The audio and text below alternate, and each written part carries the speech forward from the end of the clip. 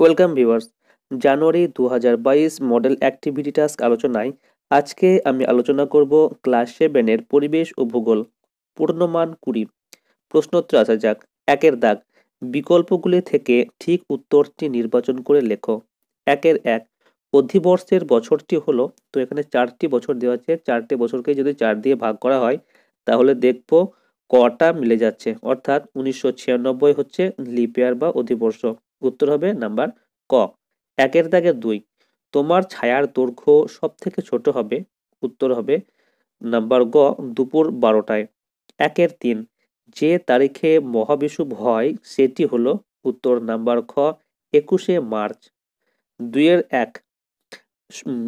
বাক্যটি সত্য হলে ঠিক এবং অসত্য হলে ভুল লেখো। প্রথম যে তথ্যটা দেওয়া আছে, বাইশে ডিসেম্বর পৃথিবীর সর্বত্র দিনরাত্রি সমান হয়। তো এটা ভুল, কারণ আমরা জানি বাইশে ডিসেম্বর উত্তর গোলার্ধে সব থেকে বড় রাত এবং সব থেকে ছোট দিন হয়ে থাকে। কিন্তু এখানে অন্য কথা লেখা আছে, তাই এটা ভুল তথ্য। পরের তথ্য দেওয়া আছে, আমাদের দেশে যখন শরৎকাল, অর্থাৎ আমরা কোন দেশে বাস আমরা কোন গোলার্ধে বাস করি না, আমরা উত্তর গোলার্ধে বাস করি, ঠিক তখন যখন শরৎকাল, দক্ষিণ গোলার্ধে তখন বসন্তকাল, এটা সঠিক তথ্য। এরপর আসি দুইয়ের দুই। একটি বা দুটি শব্দে উত্তর দাও। প্রথম প্রশ্ন, যে কল্পিত রেখার চারিদিকে পৃথিবী আবর্তন করে তার নাম লেখো।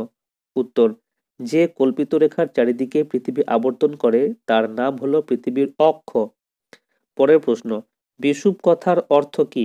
উত্তর বিষুব কথার অর্থ হচ্ছে দিন রাত্রি সমান। পরবর্তী প্রশ্ন, কোন মাসে পৃথিবী সূর্যের সব থেকে কাছে অবস্থান করে? উত্তর হচ্ছে জানুয়ারি মাসে পৃথিবী সূর্যের সব থেকে কাছে অবস্থান করে। তিনের দাগ। তিনের এক, সূর্য থেকে পৃথিবীর দূরত্ব সবসময় সমান হয় না কেন? উত্তর, উপবৃত্তাকার কক্ষপথের একটা ফোকাসে সূর্য অবস্থান করে। এই কারণে পৃথিবী পৃথিবীর সূর্য প্রদক্ষিণের সময় সূর্য থেকে পৃথিবীর দূরত্ব সবসময় সমান থাকে না। এক সময় পৃথিবী সূর্যের বেশি কাছে চলে আসে আবার এক সময় অনেক দূরে চলে যায়। পরবর্তী প্রশ্ন, পৃথিবীর পরিক্রমণ গতির আর এক নাম বার্ষিক গতি কেন? উত্তর, পৃথিবী সূর্যকে প্রায় তিনশো পঁয়ষট্টি দিনে একবার প্রদক্ষিণ করে। এই সময়টাকে সৌর বছর বলে। পরিক্রমণ গতির সময়কে ধরে বছর গণনা করা হয় বলে একে বার্ষিক গতিও বলা হয়। তারপরে প্রশ্ন, নিচের প্রশ্নটির উত্তর দাও। অপসুর ও অনুসুরের মধ্যে পার্থক্য লেখো। উত্তর। তো এখানে আমি দুটো পার্থক্য লিখেছি। প্রথম পয়েন্ট হচ্ছে, চৌঠা জুলাই সূর্য থেকে পৃথিবীর দূরত্ব সব থেকে বেশি হয়। একে পৃথিবীর অপসুর অবস্থান বলে। অন্যদিকে তিসরা জানুয়ারি সূর্য থেকে পৃথিবীর দূরত্ব সব থেকে কম হয়, একে অনুসুর বলে। তো প্রথম পয়েন্ট হলো, দ্বিতীয় পয়েন্ট অপসুর অবস্থানে সূর্য থেকে পৃথিবীর দূরত্ব প্রায় পনেরো কোটি কুড়ি লক্ষ কিলোমিটার। অন্যদিকে অনুসুর অবস্থানে সূর্য থেকে পৃথিবীর দূরত্ব প্রায় চোদ্দ কোটি সত্তর লক্ষ। তো এই দুটো পয়েন্ট এবং দুটো পার্থক্য আমি মেনশন করলাম। এরপর কি বলছে? না, পাঁচের দাগ।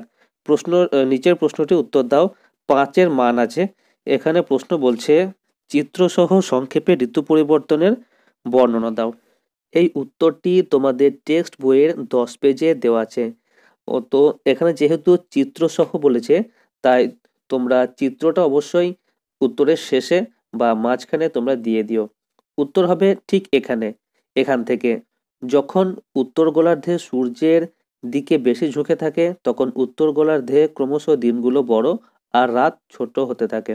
তো তোমরা টেক্সট বইয়ে উত্তরটা ভালো করে মুখস্থ করে নিয়ে উত্তরটা লিখে রেখো বা ভিডিওটা পজ করে নিয়ে নিয়ে তোমরা লিখে নিতে পারো। দেখে দেখে রিডিং পড়ে আর ভিডিওর ডিউরেশন বাড়ালাম না। তো এই ছিল ক্লাস সেভেনের জানুয়ারি দু হাজার বাইশ মডেল অ্যাক্টিভিটি টাস্কের প্রশ্নোত্তর আলোচনা।